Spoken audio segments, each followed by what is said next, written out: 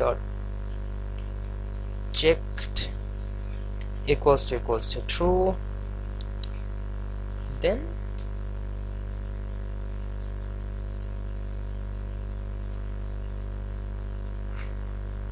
the, the following code will be executed. Right now else if this same condition is false. This is false. Because change can be of two types. We are having here checkbox for checked changed.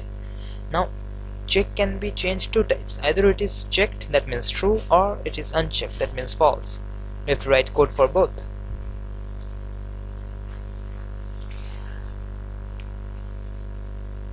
well let me uh, do it a little easier. Copy this thing this entire code snippet paste it here and just then change the values. False. False. And false. Done. Now what happens I will just show you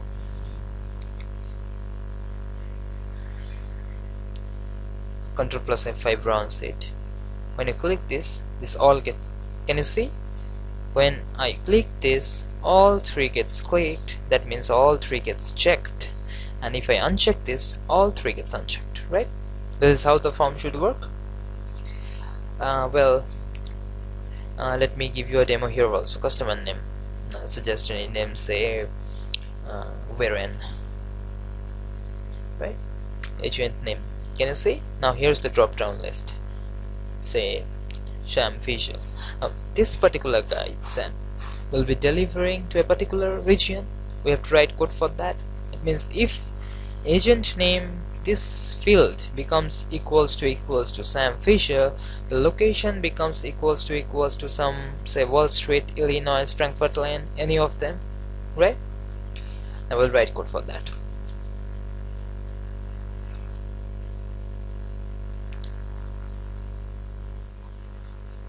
here. Just let me put this in precedence. I've got it. I'll put it over here. Control V. Now I will go for if. What was this? Combo box 1 right?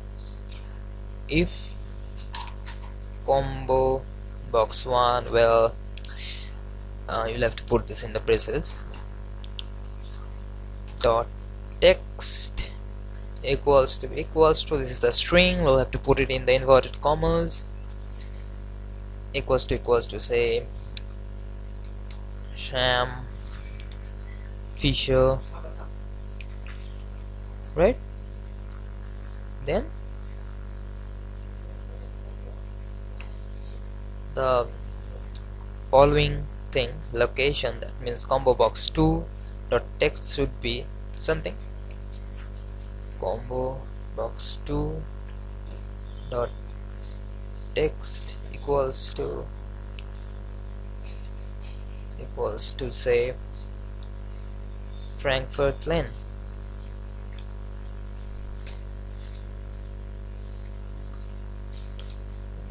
Right it's done. Now what will happen I will show you. You give control plus F5 it is running. I leave this particular thing. Got it? When I'm giving it as Sam Fisher is automatically turning it as for C Dredeco brand it is uh, nothing. If I put Wall Street and if I put Sam Fisher it automatically changes to Frankfurt Lane got it? And this is as usual. So like this now what happens this is so far it is working well. Have to code, write code for the rest of the thing but I'm just doing it for this much. Now I hope uh, like this it works and now I will take you to another part of my project. Now let me just exit this save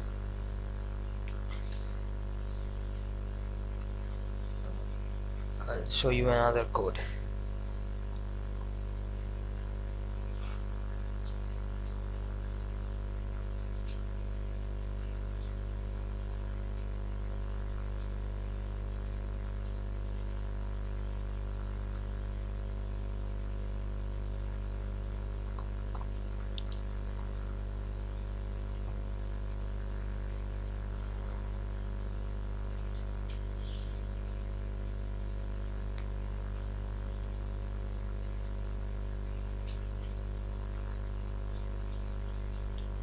something happened to this. Right? I had toolbox over here. Uh, let me put it.